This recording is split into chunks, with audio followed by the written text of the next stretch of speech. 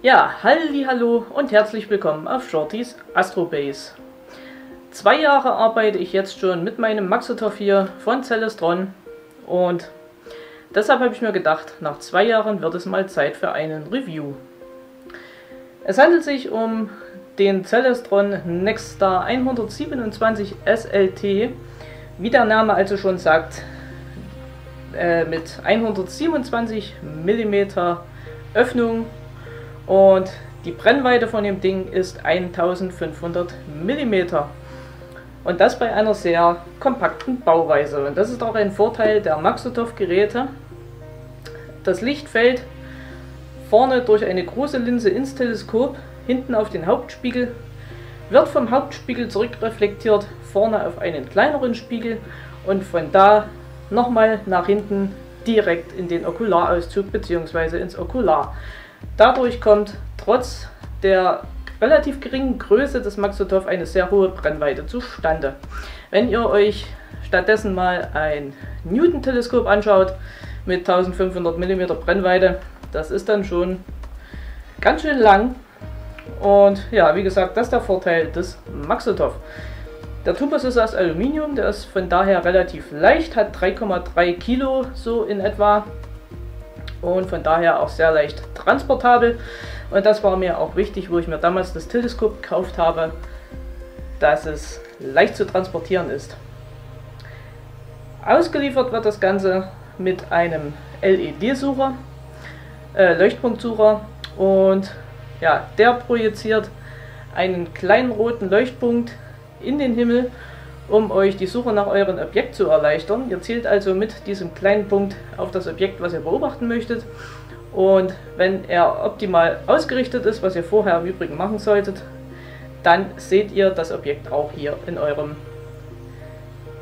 äh, Teleskop bzw. im Okular.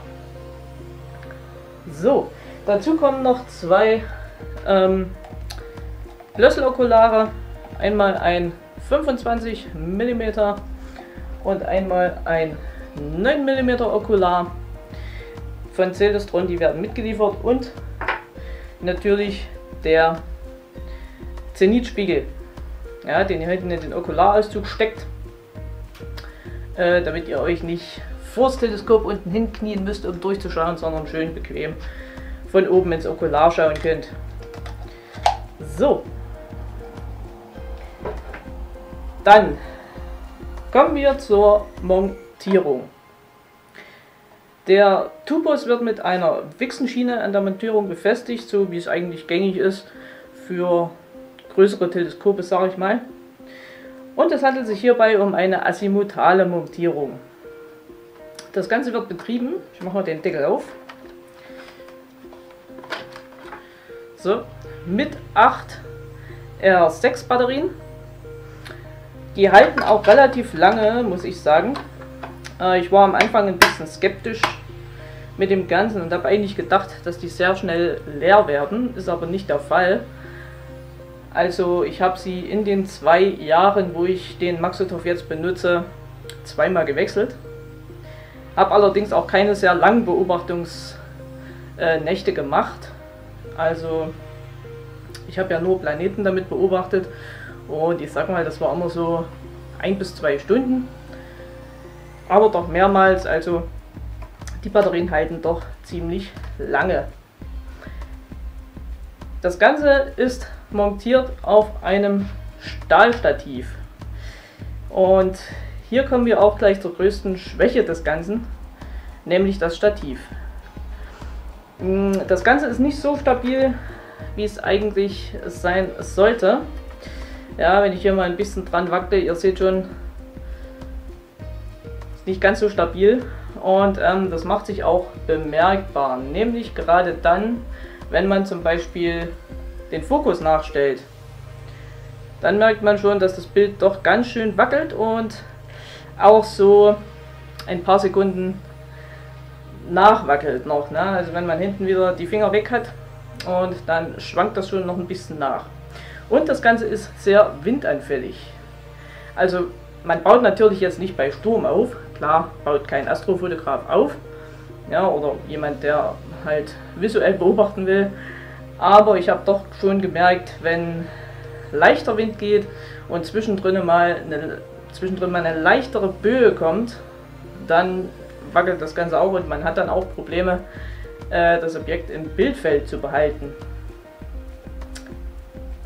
Das, es gibt sicherlich bessere Stative für Montierung. So, das Ganze kommt noch mit einer Handsteuerung, denn das Nextstar hat die Go-To-Funktion. Das heißt, das äh, Teleskop oder beziehungsweise der Computer in der Montierung hat Objekte gespeichert. Das ist, es sind sowohl unser Sonnensystem als auch Deep Sky Objekte. 4000 sind gespeichert, wenn ich mich jetzt nicht irre. Ich glaube, es waren 4000.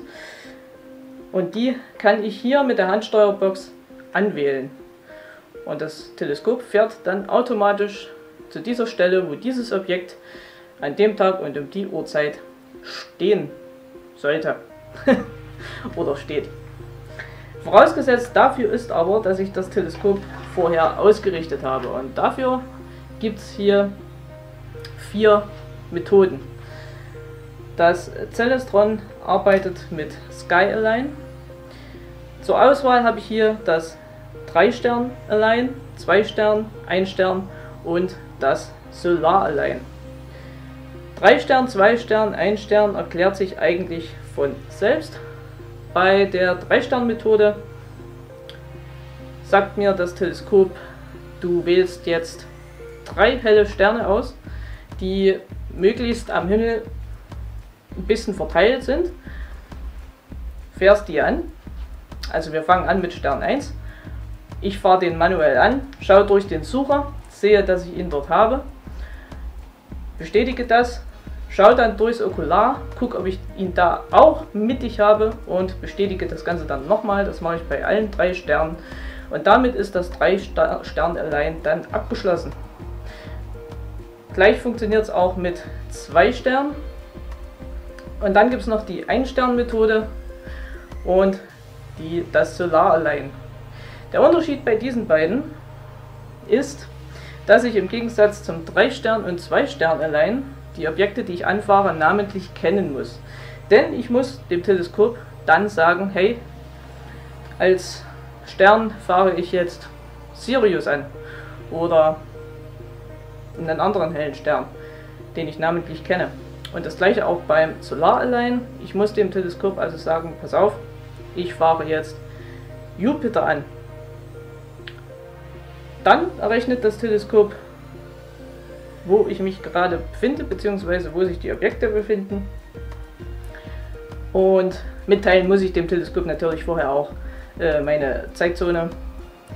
Und einmalig, ganz am Anfang, wenn ich das, das äh, Teleskop das erste Mal in Betrieb nehme, äh, muss ich ihm auch meine Koordinaten mitteilen. Und dann noch jedes Mal, wenn ich es in Betrieb nehme, natürlich Datum und Uhrzeit. Dann kann ich die GoTo-Funktion nutzen. Das heißt, wenn ich das Teleskop einmal ausgerichtet habe, nehme ich meine Handsteuerbox und sage ihm jetzt, ich möchte jetzt Mars beobachten, gebe hier ein, dass es zum Mars schwenken soll und das Teleskop fährt Mars dann automatisch an. Funktioniert auch relativ gut. Ich hatte die gesuchten Objekte eigentlich immer gleich im Bildfeld. Also da hatte ich noch keine Probleme, vorausgesetzt man hat das Alignment ordentlich durchgeführt. Na? Voraussetzung dafür ist natürlich auch, äh, dass das Stativ richtig aufgestellt ist. Also es muss gerade stehen. Dafür habe ich hier oben drauf eine kleine Wasserwaage. Und jeder kennt eine Wasserwaage. Ja, man hat ein kleines Bläschen und wenn alles schön gerade ist, befindet sich dieses Bläschen in der Mitte des Wasserkolbens. Genauso ist es auch hier. Ich habe ein kleines Bläschen und das sollte sich in der Mitte einer Markierung befinden, dann steht das Stativ gerade. Das ist wichtig für die Nachführung. Denn wenn das Teleskop einmal ausgerichtet ist und ein Objekt angefahren ist, führt das Teleskop dieses Objekt auch automatisch nach.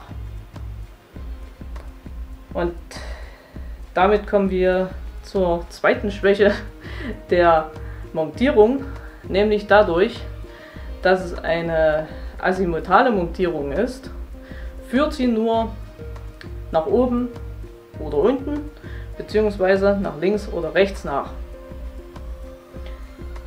Im Vergleich zu einer parallaktischen Montierung, die parallaktischen Montierungen führen ja äh, das Objekt auf seiner Bahn nach. Ich erkläre es euch mal kurz. Unsere Himmelsobjekte bewegen sich ja nicht so am Himmel, ja, die bewegen sich ja so. Und das führt die azimutale Montierung nicht nach. Das heißt, sie führt die Bildfeldrotation nicht nach. Und jetzt kommen wir mal von der visuellen Beobachtung zur Astrofotografie. Also Planeten, kein Thema, habe ich die ganzen zwei Jahre gemacht. Da ist das Teleskop absolut top. Scharfe Bilder, ihr könnt auch gerne auf meinem Kanal mal schauen. Ich habe einige Videos dazu gemacht, was ich mit dem Maxotov hier aufgenommen habe. Aber Deep Sky. Deep Sky ist mit dem Maxotov so eine Sache. Natürlich ist es theoretisch möglich, Deep Sky Aufnahmen damit zu machen. Nicht nur theoretisch, es ist auch praktisch möglich. Aber nicht mit dieser Montierung. Wenn ihr mit dem Maxotov Deep Sky Aufnahmen machen wollt, braucht ihr definitiv eine parallaktische Montierung. Denn dadurch, dass der Maxotov auch so eine hohe Brennweite hat, ist das Bildfeld relativ klein, weil es stark vergrößert wird. Und je kleiner das Bildfeld ist, was ihr habt, umso genauer muss die Nachführung sein. Ich habe es hier mal ausprobiert und zwar am Flammennebel. Habe mal versucht mit dieser Montierung den Flammennebel eine Stunde lang zu belichten mit meiner Spiegelreflexkamera. Und bis 30 Minuten ging das Ganze relativ gut. Nach den 30 Minuten habe ich aber an den Aufnahmen gesehen, hm, dass der Stern, den ich anvisiert habe, in diesem Fall war es Einitag, äh, langsam aus dem Bildfeld verschwunden ist und damit natürlich auch der Flammennebel. Das äh, war ein Problem und ich hatte vorher das Stativ korrekt ausgerichtet. Ich hatte auch das Star Align korrekt durchgeführt. Also da hat die Nachführung gepasst. Aber wie gesagt, durch diese, äh, ich sag mal, äh, feste Nachführung oben, unten, links, rechts und dem kleinen Bildfeld ist es halt schlecht. Man muss halt während einer langen Belichtungszeit, wenn ihr jetzt eine Stunde belichten wollt, zwischendrin die Nachführung oder beziehungsweise die Position immer mal anpassen und korrigieren. Aber wie gesagt, wenn ihr Deep Sky Aufnahmen machen wollt, kauft euch definitiv eine parallaktische Montierung. Ja, das ist mit dieser Montierung hier ein bisschen ein Krampf. Schade, denn das Teleskop kostet, so wie es hier steht, jetzt im Moment äh, um die 800 bis 850 Euro. Das ist nicht billig. Ja, ähm, muss man für sich selbst entscheiden, ob es einen das wert ist für ein Teleskop, mit dem man vorrangig Planeten beobachten bzw. fotografieren kann und was halt nicht so für Deep Sky geeignet ist. Außer man kauft sich noch zusätzlich eine Montierung. Wenn ich jetzt aber davon ausgehe, was so eine parallaktische Montierung kostet, also eigene ordentliche mit GoTo-Funktion und äh, die ihr auch über den Computer steuern könnt, mh, hm, seid ihr da gerne nochmal 700, 800 Euro los. Ja. Apropos Computersteuerung, ihr könnt das Teleskop auch über den PC steuern. Ihr habt unten an der Handsteuerbox einen Anschluss für einen RJ232 äh, Anschluss mit, und damit könnt ihr die Handsteuerbox mit dem PC verbinden. Es gibt eine Software dazu von Celestron, mit der ihr das Teleskop dann über den PC steuern könnt. Also auch das äh, manuelle Anfahren könnt ihr dann über den PC steuern.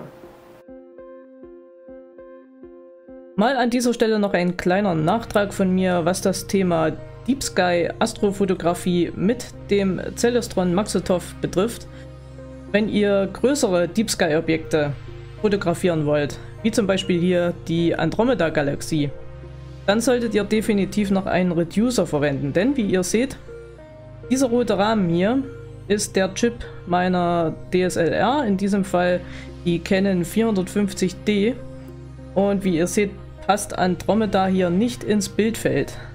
Das kommt durch die 1500 mm Brennweite des 127 SLT und hier solltet ihr definitiv einen Reducer verwenden, um die Brennweite zu halbieren, dass ihr das Ganze auch ins Bildfeld bekommt. Das gleiche gilt für äh, den Orion-Nebel. Wie ihr seht, hier passt gerade so ähm, das Zentrum rein, sage ich mal. Der Pferdekopfnebel hier, der ist relativ klein, das würde passen. Auch der Flammennebel hier oben äh, würde passen. Aber der Rosettennebel zum Beispiel ist schon wieder viel zu groß. Ja, hier habt ihr wieder den roten Rahmen. Ist jetzt ein bisschen schlecht zu sehen, weil der Rosettennebel selbst sehr rötlich ist. Aber wie gesagt, für solche Aufnahmen dann nutzt ihr bitte einen Reducer, der die Brennweite halbiert. Und dann bekommt ihr die auch schön ins Bildfeld. Achso, eines noch. Ähm, ihr habt das sicherlich schon mal gehört, gerade bei Newton-Teleskopen, wenn ihr die öfter transportieren müsst, gerade auch im Auto, kann es passieren, dass der Hauptspiegel hinten ganz leicht verkippt. Ähm, das heißt, das Teleskop ist dann dekollimaniert. Der Hauptspiegel sitzt also dann leicht schief und ihr bekommt keine scharfen Bilder mehr. Ähm, beim Maxotov durch seine kompakte und stabile Bauweise ist das relativ unwahrscheinlich, dass das passiert. Also mir ist es in den zwei Jahren noch nicht passiert und ich transportiere das Teleskop sehr, sehr oft äh, mit dem Auto auch über holprige Feldwege, also nicht nur auf äh, schönen glatten Straßen. Sollte das Ganze beim Maxotov doch mal passieren, ich fahre ihn mal mit der Rückseite zu euch.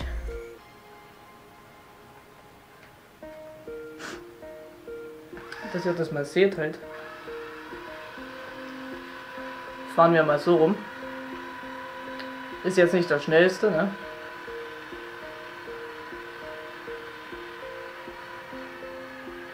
Ich glaube, die Batterien geben auch langsam den Geist auf. Weil ich das Thema vorhin gerade hatte mit, den, mit der Haltbarkeit der Batterien. So,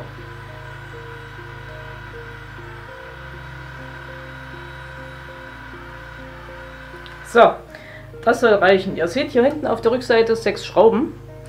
Wir haben drei größere Schrauben und drei kleinere Schrauben, jeweils Imbusschrauben und damit könnt ihr den Hauptspiegel wieder richtig ausrichten. Die drei größeren Schrauben sind dafür da, den Spiegel nach vorne zu drücken also in Richtung Linse des Teleskops. Und die drei kleinen sind dafür da, den Spiegel nach hinten zu ziehen, also Richtung Okularauszug. Ja, damit könnt ihr den Spiegel dann wieder richtig ausrichten. Braucht ein bisschen Feingefühl, braucht auch ein bisschen Übung. Aber wie gesagt, bei Maxotov absolut unwahrscheinlich, dass der sich mal dekollimaniert. Also ich, ich habe es noch nicht gehabt. Ja, falls es doch mal passieren sollte, wisst ihr jetzt wenigstens, wie das Ganze funktioniert. Könnt ihr euch auch mal auf YouTube extra Videos dazu anschauen, wie das dann genau funktioniert. Ich will jetzt kein Video dazu machen, weil ich will meinen Spiegel nicht extra verstellen. So, und was mir gleich noch einfällt, weil ich den Okularauszug hier hinten sehe, weil wir gerade bei der Astrofotografie waren. Der Maxotov hier hat einen ein Viertel Zoll Okularauszug. Und darin könnt ihr eure Kameras befestigen mit einem ein Viertel Zoll Steckaufsatz. Ganz normal, wie ihr äh, wie es ihr bei den Okularen, wie ihr es bei den Okularen auch macht. Ja, so, mit den Klemmschrauben hier hinten. Oder, was ihr auch machen könnt, wenn ihr Spiegelreflexkameras verwendet. An euren Spiegelreflexkameras habt ihr ja, um sie am Teleskop anzubringen, einen sogenannten T2-Ring befestigt. Und der Okularauszug des Maxotov hat ein Gewinde. Und ihr könnt auch hier direkt den T2-Ring anschrauben und damit eure Spiegelreflexkamera schön per Gewinde hier befestigen. Sitzt dann auch bombenfest, könnt ihr auch sicher sein, dass nichts rausrutschen kann. Ja, was durchaus passieren kann, wenn ihr eine sehr schwere Kamera habt und ihr habt die Klemmschrauben nicht richtig festgedreht, dann kann es auch passieren, das Ganze rutscht mal raus. Sollte nicht passieren. Ne? so, gut. Das noch am Rande. Machen wir das Ganze mal wieder weg. So. Ja, was gibt es dazu noch zu sagen? Also ich fasse nochmal zusammen. Es ist ein sehr gutes Teleskop. Es ist sehr gut zu transportieren. Es ist leicht, es ist einfach aufzubauen. Äh, Im Gegensatz zur parallaktischen Montierung, die ihr erst nach den Polarsternen ausrichten müsst und, und so weiter und so fort. Hier ist es mit dem äh, Star Align wesentlich einfacher. Ihr geht also einfach raus, stellt die Montierung ordentlich auf, schaltet ein, macht das allein und könnt im Prinzip schon loslegen. Aber eben für Deep Sky also für Deep Sky Beobachtung, äh, das was durch das Teleskop zu sehen ist, äh, funktioniert natürlich auch, aber für die Astrofotografie und vor allem für die Deep Sky Fotografie ist die Montierung definitiv nicht gemacht. Wie gesagt, müsst ihr selbst entscheiden, ob sich das für euch lohnt oder ob sich nicht lohnt. Also ich muss sagen, für mich hat sich gelohnt. Ich bin eigentlich derjenige, der sehr gerne Planetenbeobachtungen macht und auch sehr gerne Planeten fotografiert. Nächstes Jahr möchte ich auch in die Deep Sky Fotografie gehen. Dafür nutze ich aber nicht den Maxotov. Dafür kommt bei mir noch ein kleinerer Refraktor und mitsamt einem ähm, Star Tracker. Und der Maxotov hier, der wird weiterhin für die Planetenfotografie verwendet werden. Äh, eventuell kaufe ich mir dann so Ende nächstes Jahr noch eine parallaktische Montierung für den Maxotov, so dass ich auch kleinere Deep Sky Objekte damit fotografieren kann, wie zum Beispiel kleinere Galaxien oder ähnliches. Ja, mehr gibt es dazu eigentlich nicht zu sagen. Ich hoffe, ich konnte euch ein bisschen einen Einblick geben, was das Teleskop kann und was nicht. Dann würde ich sagen, schwenke ich das Ganze nochmal rum. Und ja, an dieser Stelle hoffe ich, dass ich euch mit dem Review ein bisschen weitergeholfen habe. Und ich bedanke mich an dieser Stelle bei euch fürs Zusehen. Lasst mir ein Like da, wenn es euch gefallen hat. Vielleicht auch ein Abo, wenn ihr es noch nicht getan habt.